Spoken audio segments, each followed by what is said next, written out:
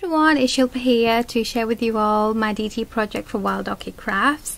Um, this time I altered a frame and made it into a stick pin frame and it's come out super gorgeous. So I'm going to share with you all the, some of the products that I used and then show you my beautiful stick pin frame. So I'm just going to move this out of the way and um, go through some of the products. So first of all I use this pack of white English roses MKX606 and the codes will be below for you guys um, so you know what I used. Um, these roses are just so beautiful. I love them. They're just so vintage and they look so vintage and they're so different and they're very different from all the other roses and I just think they're just really beautiful and very unique looking so I used that pack. I also used this mixed uh, flowers pack MKX311 and I love using packs like this because of the different um, roses the different varieties you've got in there. So you've got um, the sizes are different the flower style is different. So you've got trellis roses in here open roses in different sizes. So it's a really really nice pack to have very handy. So I used that pack I also used this um, pack of miniature white sweetheart blossoms MKX328 and um, in, my, in, my, video last video I did say that's the first time I got them. And I absolutely love them. They're just so adorable. And these flowers they're just so so cute even to look at. And I've used quite a few of these in my project.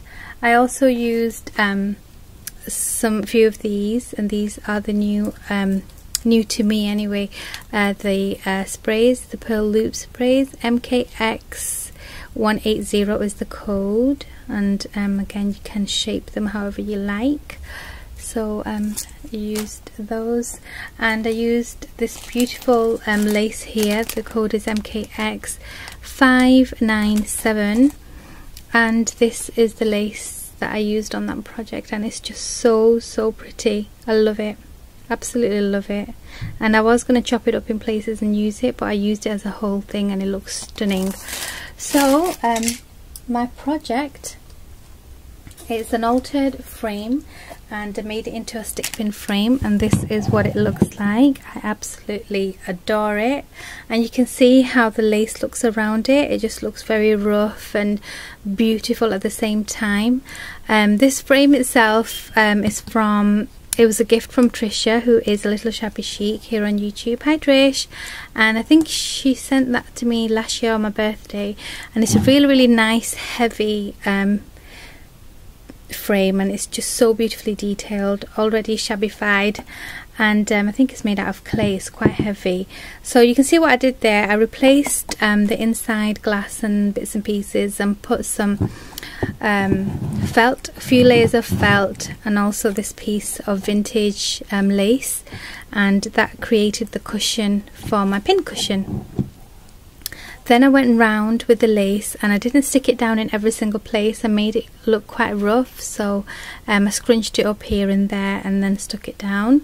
In between I also added quite a few of the um, sweetheart blossoms as you can see they are scattered all the way around and they just give it a really nice floral look.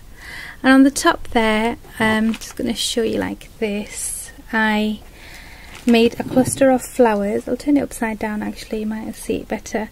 Um, so I've got um, the, one of the uh, white large um, roses, the English roses, then two of the smaller roses, and even smaller two at the front here.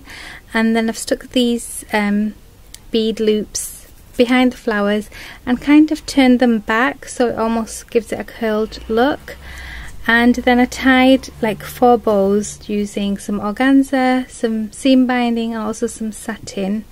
And um, sorry that's three bows and then I put a pearl center in the middle and that's one of the newer pearl centers from Wild Orchid Crafts. And on either side. You can see there's some cascading um, pearls and that's just some pearl string from my stash and I've just put it all together. So it's come out really really gorgeous. I'm really chuffed with it and I also made some stick pins to go with it. So I'll show you guys how they look on there. So it's just really really cute. I love the way they just you know pop in there. Really nice and it's, it's a nice use of old frames I think if you've got some frames. And this frame was beautiful as it was. And it looks even more prettier now. Just going to put my pins in there.